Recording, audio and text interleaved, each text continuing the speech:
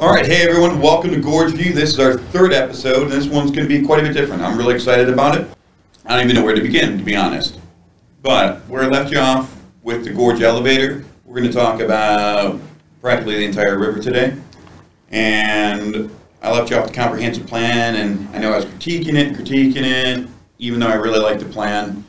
And today we're going to talk about some positive things that if you go to page 31 in the comprehensive plan and you'll see the core city vision and you know it starts off with imagine the year is 2030 and then it goes through and all these things that have happened. Well, some of the things that have already happened in that little narrative of what the future should look like, our special guest today has accomplished quite a bit of that. So I just want to really, well, one more thing planning. So, you know, we talked about planning principles. And the other thing I was thinking about, particularly for this episode and this guest, is plans are bridges.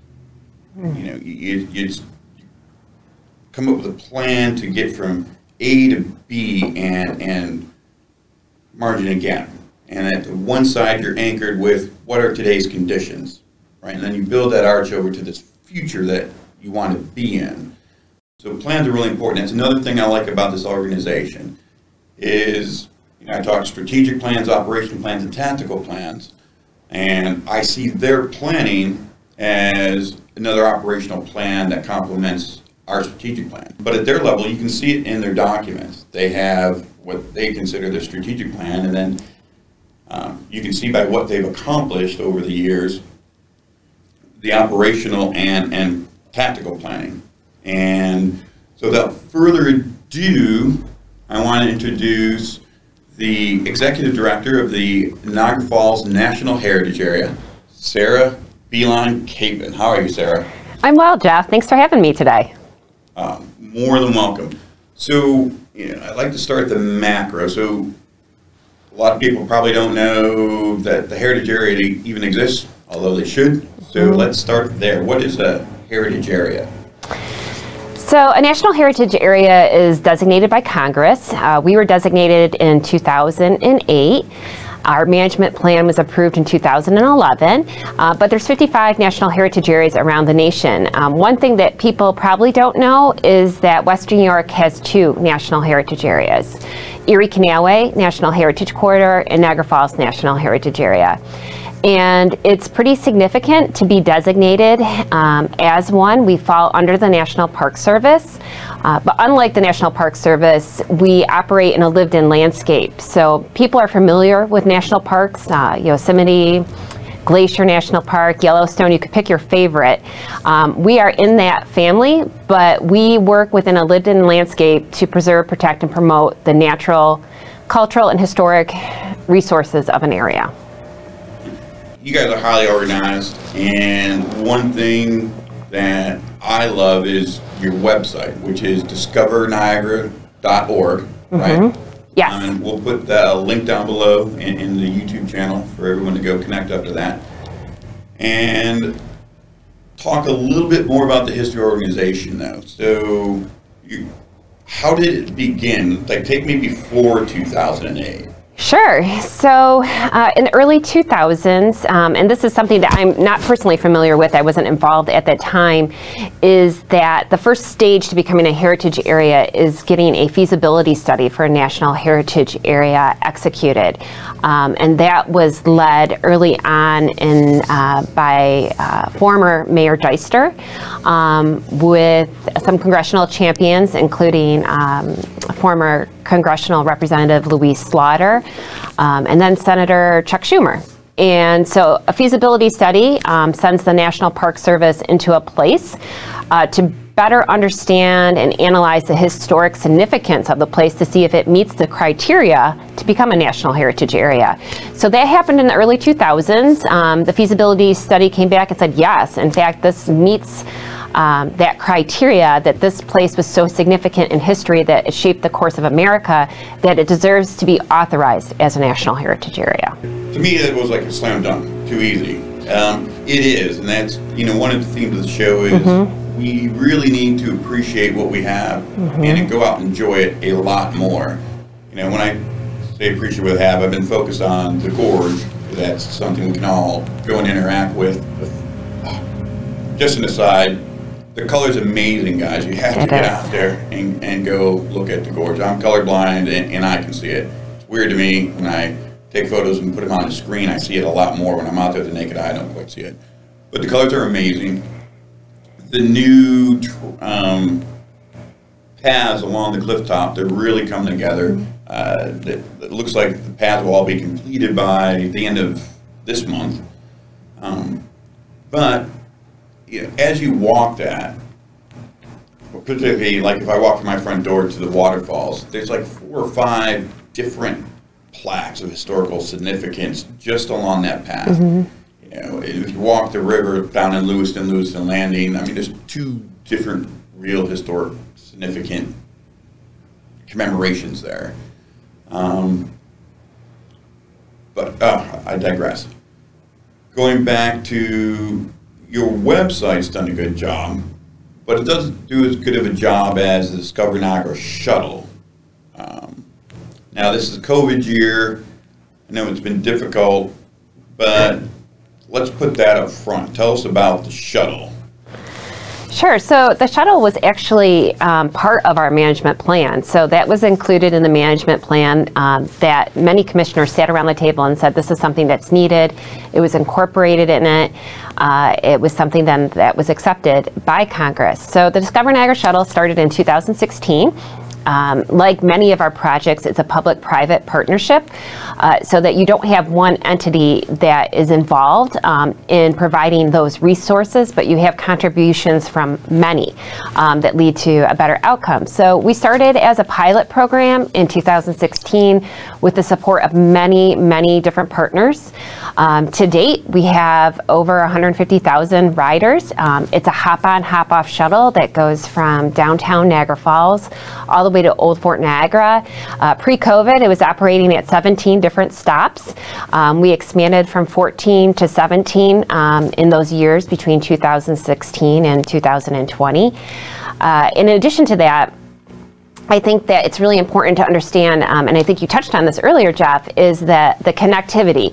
Um, we connect to the existing transportation systems that service uh, Niagara Falls and the Niagara County region, which is the NFTA route, as well as the Niagara Falls State Park Green Trolley. So we looked at it from a, a big picture um, that said, you know, what, you know, what could we do um, to make this work and how could we connect everyone to really build that regional connectivity and showcase those assets that we have from the falls to the fort? Um, the original plan i believe was uh, an expansion of uh, the green trolley from niagara falls state park to the power vista when their new vista their new visitor center was going to be built. So they wanted to bring people back and forth um, and we asked the question uh, can we do something more, right? Can we connect to those downtown um, business districts? Can we connect to the aquarium? Can we connect to the NAC, right? Um, what happens if we expanded it so that included everyone and that we got off the Robert Moses at that time, right? Um, because there's no economic activity generated when you go from a state park to a state energy, a state entity on a state throughway, right? you're, you're not getting people off to spend money or be able to even understand or appreciate uh, the fullness of our our history here. Right, and so we um, took a position that really challenged a lot of those ideas and um, forced people to think a little bit bigger about it. You hit on a good point, and that's the economics, and that's something like I think I'm going to do. My second series is all going to be about the economics of tourism, but that's a very important point. You hear that locally a lot. Everyone's like, "Oh, these people they come, they go in the park, and they spend all the money, and then they leave town." Um, it's not quite true. And what this shuttle does is certainly, you know, I talked. I think I mentioned in the last episode. It takes at least two days to do the gorge right. It takes three or four days to do the shuttle right. Um, so you're really stretching out a stay. You're providing people a reason to come. And it's another thing I really loved about your website. I think it does probably the best job of anything that we have to point out to someone on the other side of the world who's looking to come to Niagara Falls. I, like, I hope they land on that page because it shows them wow, I need, you know, my friend went there several years ago and they said, you know, it's a day trip. Mm-hmm. You know, so maybe you're going to do one overnight, or maybe we get in in the morning, do everything, and get back on the plane that evening. Um, but this shows you, oh wait, there's 31 points of interest on your website. Um, there are days of activity on their website, It- it- so you can really start to plan out a trip. Um, and it just got just the right amount of information on it. So 31 points of interest. Now the shuttle's only taking people to uh, roughly half of those, I think.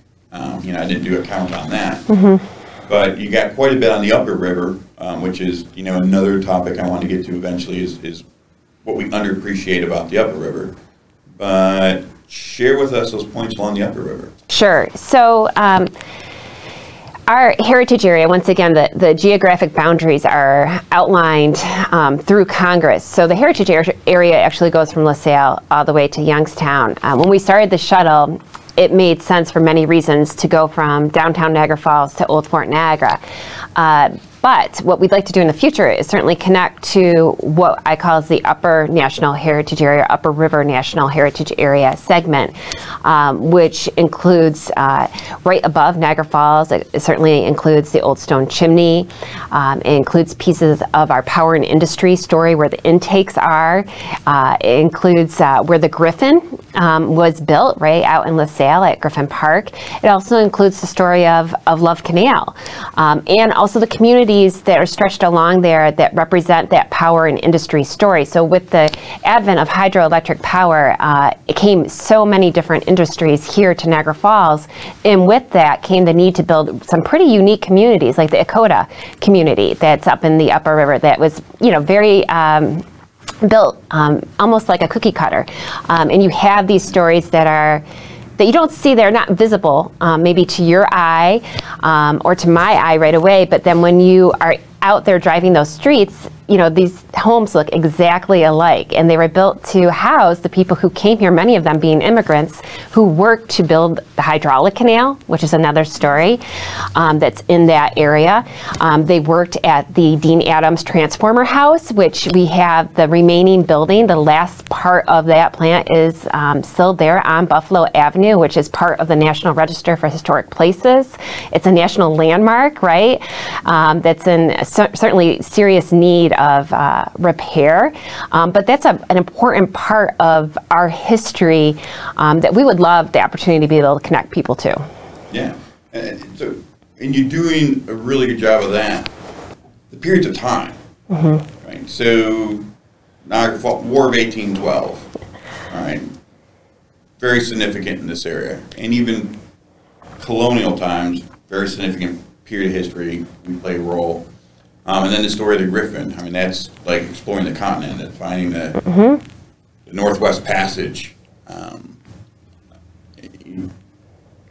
so much little detail and significant things, and then industry. Like, Yeah, to me, you cannot understand the industrialization of America if you don't know Niagara Falls history. Um, you know, in the last episode, we really showed that by going back to 1857 and showing when they first started throwing water off the cliff from the Hydro Canal to boom, you've industrialized the whole cliff. Then we're back to just a power plant, and now we're back to pristine wonder. Um, and yes, that evolution exists all along, particularly Upper River too. And now you still have, you know, as we deindustrialize gorge, we industrialize the Upper River. It's part of the Love Canal story also.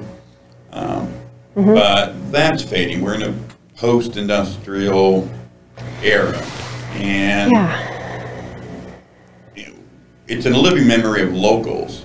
Mm-hmm. But you know, particularly with when I have guests and they wonder like, city seems a bit strange to them. Niagara Falls doesn't live up to expectations. You know, when they mm-hmm. see obviously more infrastructure than the population suggests we mm-hmm. need. Uh, and that's why I always have to tell them the story. Well, we're an industrial city. Now we're post-industrial. We used to have 108,000 people at the height.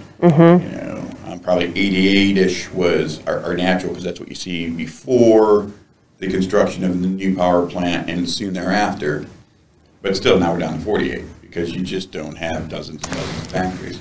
Yeah. And I think, Jeff, if I could jump in um, just real quick, and I think that's a really important point that you just made, um, is so when people are here, whether it's people from Western New York who've come to Niagara Falls or people traveling from the world to Niagara Falls, is we haven't really told that comprehensive story to answer like why, why does this, you know, not feel right, right, like we know the stories. And I always go back to um, what you actually started with today was just the landscape, right? Appreciation for landscape. So, how I look at the work that we do is, um, and how I look at the work of a national heritage area is that it designates a landscape that is truly unique. So, just talk about the rawness of the gorge, the Niagara River, 21% of the world's fresh water. Yep. Niagara Falls, right? Connecting two Great Lakes. So, from that, you build those layers of history. And when you begin to reveal those layers of history, you can tell that story that begins to make sense to the point where you have a shuttle going down Main Street with a Main Street that's mostly boarded up. And people say, well, why does it look this way? And you can say, it was built for 100,000 people. There's 48,000 people that live here today. It was built with this many people working in this many industries here.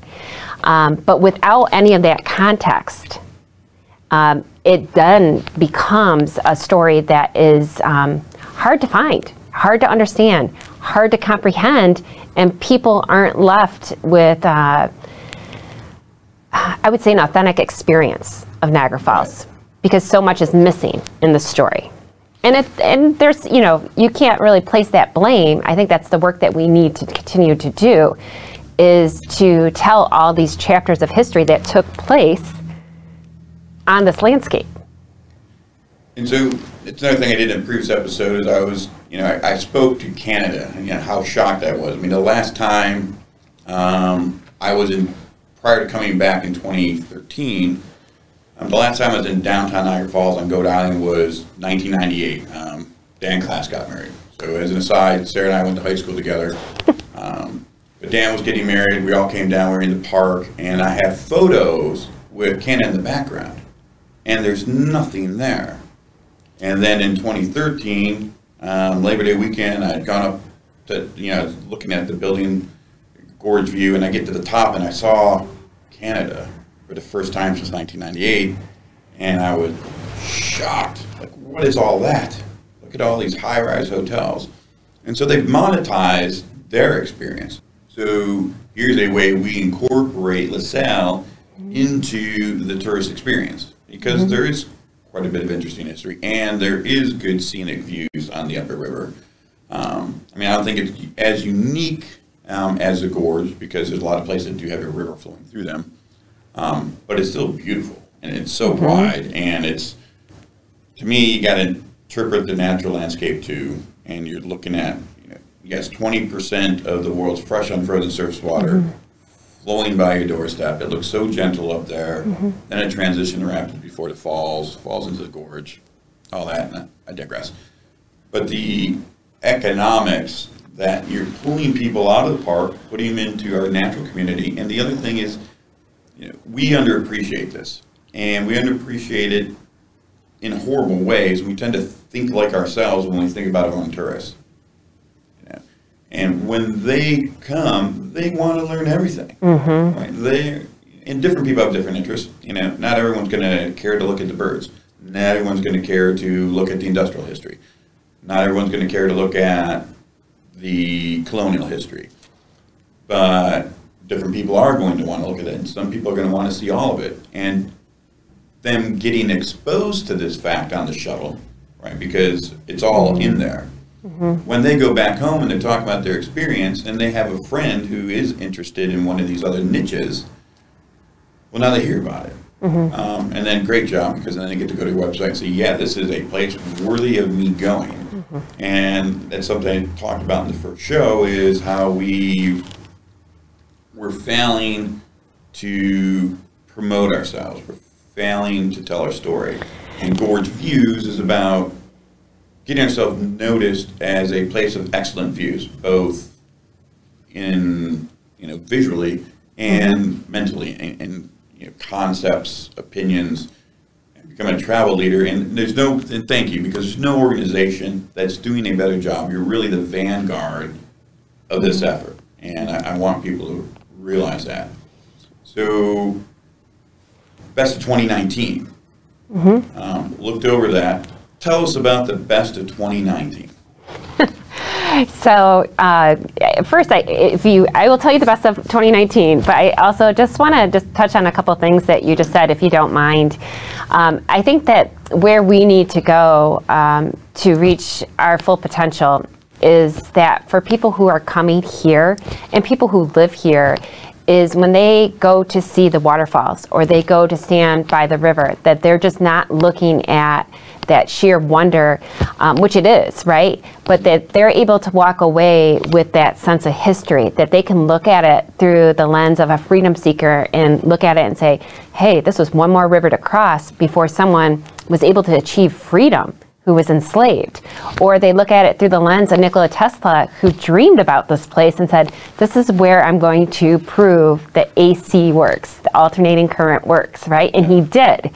And so when you look at that waterfalls in that moment and you see it through the various lens of history, the place becomes that much more authentic. And people walk away with um, an incredible experience that's transformed from that natural phenomenon um, into uh, a portal through history into that significance. And one of those is right here, where we're at today, which is the portage.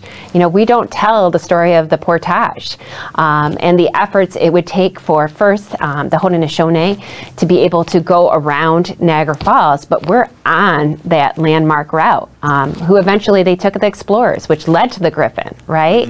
Um, but how do you go around the falls to get to the interior of America? Well, that happened here, right? Right. It's the gateway to the West. Um, and so, you know, going back to um, the conversation that uh, you had asked, I wanted to touch on that, but want to touch on about the best of 2019 um, because certainly that is representative of a lot of our work um, that we do. So we're a pretty small team, um, but I always say we take on mighty tasks.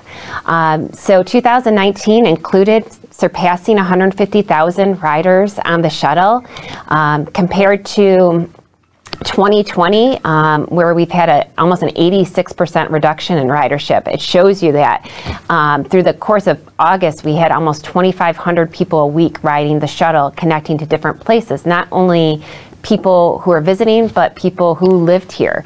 Um, so that certainly was a highlight for us. Getting um, the occupancy tax increase to support that effort was a huge, huge um, victory um, for our program and for that service to become sustainable, right? So that we can continue to build on it for the future. So that's talking about the shuttle. Um, the Niagara Falls Underground Railroad Heritage Center um, received a significant award, uh, award, national award for its permanent exhibition. Um, recently, we just uh, were announced that the TripAdvisor awarded the Underground Railroad Center with the Traveler's Choice Award, which is a, a really nice. I mean, talk about a vanguard, right? That's a good badge to have on your website. Right. Um, so that was through that work um, and really engaging visitors there with authentic history. Um, we started the mural project in 2019 right on Main Street, um, where we had eight new murals dedicated to um, revealing people who are significant to our history that you don't see. So these uh, invisible stories, right? Um, and so that public art piece, um, which I'd like to talk about for just a moment, is was really a game changer for um, the northern end of Main Street for many ways. Number one is people became engaged with the story. Number two, those were the biggest canvases, blank canvases um, that I had seen, and you know, there's a sense of pride and beauty now. I feel when you enter the city or leave the city, um, if people slow down enough in that area, right, to look at it. But the other part too is um, through the partnerships that we worked with on that project, we were able to get Depot Avenue paved. We were able to get new sidewalks put in that would connect to the Highland community right there. Um, no, it looks great down there. I was, uh, Thurs, I think Thursday. Thursday, I, I walked all the way to the and back, um, all above the cliff. And um, spent a significant time right there at, at the Underground Railroad Center, and um, yeah, um, the bridge over Depot Road. I went up and over there and took photos. The Underground Railroad Museum, that had to be a significant project. I mean, first, tell me about the building. Sure. So I can uh, tell you about the building, but I'll go back to um, the organizational points that you brought up in the beginning. Um, so I think one of the uh, unique qualities of a national heritage area um, was that we work in partnership. So, and we try to avoid duplicate efforts. So a lot of times, as you know, we get caught in silos, and you have um, entities that are working within their own silo, and it'd be a lot easier if people just work together and shared resources, shared talent. Um, and so how we got involved in actually the Niagara Falls Underground Railroad Heritage Center is through our management plan. Um, the Park Service designated the Underground Railroad being a significant interpretive theme for the National Heritage Area.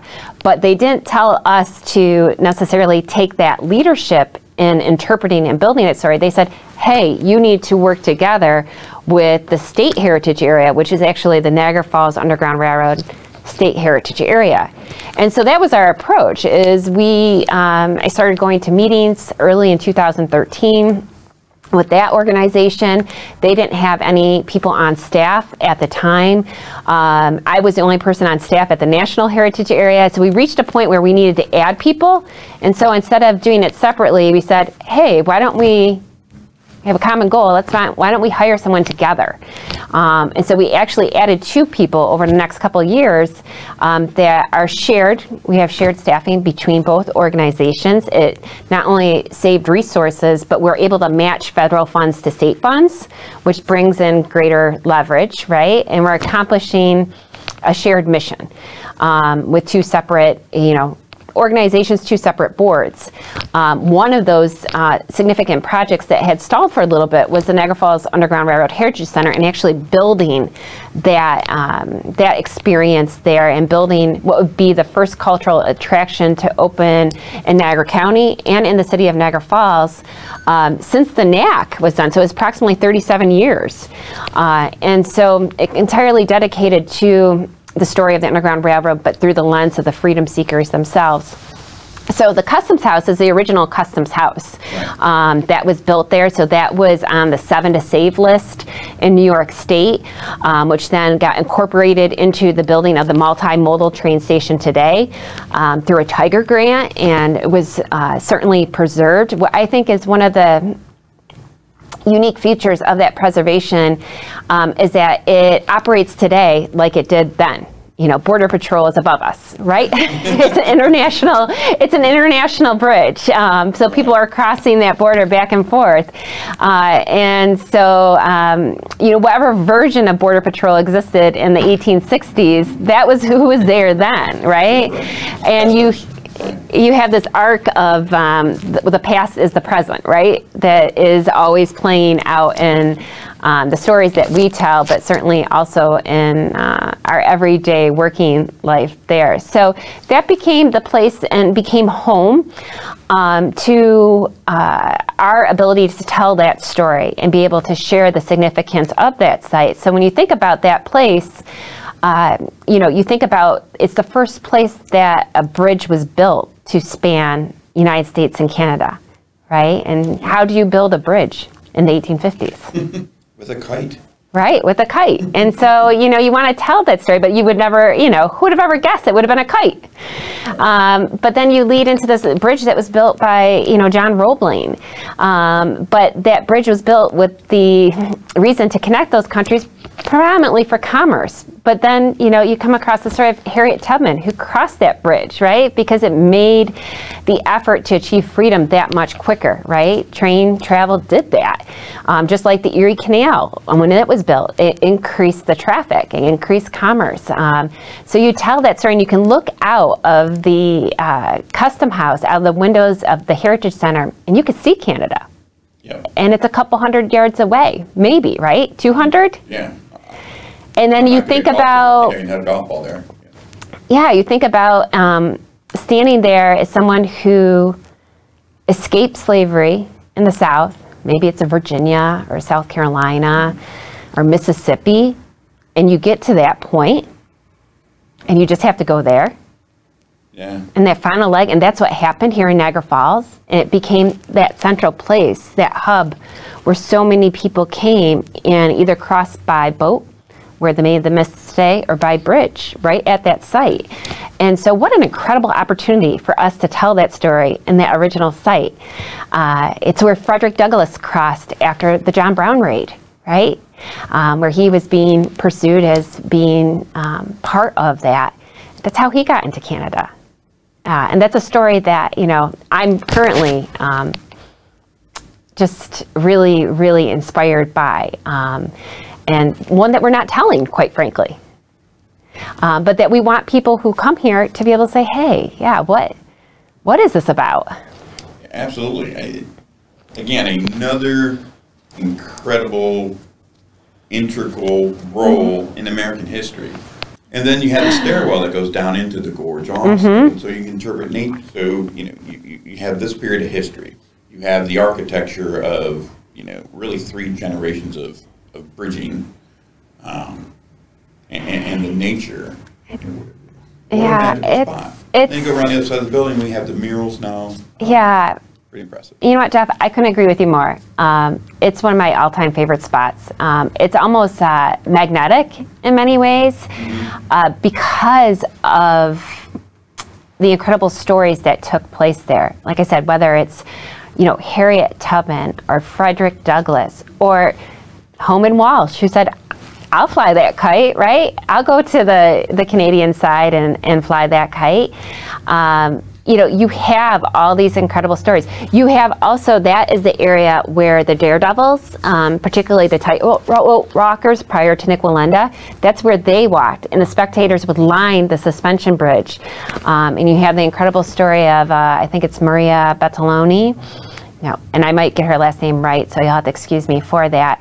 But she walked across several different times um, in one day. And one of her last images was walking across on a tightrope with, you know, peach bushel baskets on her feet, right? Spelterini. And, Spelterini, thank you. Yeah, sorry. Thank you. And yeah, Maria Spelterini. Um, and so, and then you have class six rapids, right? Like the powerhouse, the Himalayas. They're titled the Himalayas. Um, and you can go down and you can listen to those and you can experience those and you can see how close you are to Canada. Um, and you have this incredible magical view of Niagara Falls um, all seasons, right? It's, it's one of my favorite views, actually, even though I it's so far back, but that's what I like about it. Like, Yeah. yeah, I like to pretend, I'm, once I get down to the bottom stairwell and deep into the gorge, you know, Yeah. I just, because I'm a kid, I just imagine I'm an early explorer, or, you know, I'm a Indian who's first venturing up this river, and you hear, you know, one, there's no way you hear the falls there because the rapids are so loud. Mhm. But you're like, where's this going next? And then, you know, you peek through the trees and up the river and you see, what is that? Yeah. Can you imagine? Or, or imagine being the daredevil who shot the falls in the barrel, or shot the rapids in the barrel, right? Who there are several of them that did that, right? Who's just gotten the barrel and said, "Well, I'm going to shoot the rapids," or, or the you know he's can certainly Matthew Webb who is in the daredevil place who you know tried to attempt to swim it, the first person to swim the English Channel. He came over here. He tried to swim the rapids. Yes, he's buried in Oakwood Cemetery, another special place that I'd love to talk about at some point. Um, but yeah, that you would have just been like, yep, I'm going to jump in this and I'm going to swim across, right? Um, and I think that you can put yourselves, if you know those stories like you do, Yeah. right? You can put yourself in any of those shoes. And I think that that's the incredible power of this place overall is that it lends to imagination. And all these stories are connected to someone who had the imagination was inspired by this place either to create electricity to you know shoot a barrel down those rapids to swim across the rapids to walk a tightrope across the rapids or to achieve freedom Yeah. right or to help someone achieve freedom i mean i get goosebumps when i think about that right like and those Give me goosebumps. you know those stories i know those stories but my dream is to make sure everyone knows all those stories and can find their place in that story Just like I can find my place in, you know, the story of Maria Spettolini, right? Um, because that's the balance of life is Yeah. you've walked across a tightrope six times, now do it with, you know, peach bushel baskets. or carrying your sister on your shoulders, right? Continue to challenge yourself. Um, this has been great. We're going to have to have you back. Um, I think so. because you have a thousand more stories to tell, a lot more details. And there's so many things as you're talking, I want to hit on those, but I don't want to break your stride. So that's awesome. Um, so thanks for coming in. Yeah. Everyone, hit subscribe on YouTube, share this video with the world, because that's what we're trying to Mm-hmm. do, is share this, these stories. And obviously, this is a much more exciting episode, and we're going to have more in the future. Um, and so, Sara, thanks for being our first guest. Thanks for having me. I'm excited.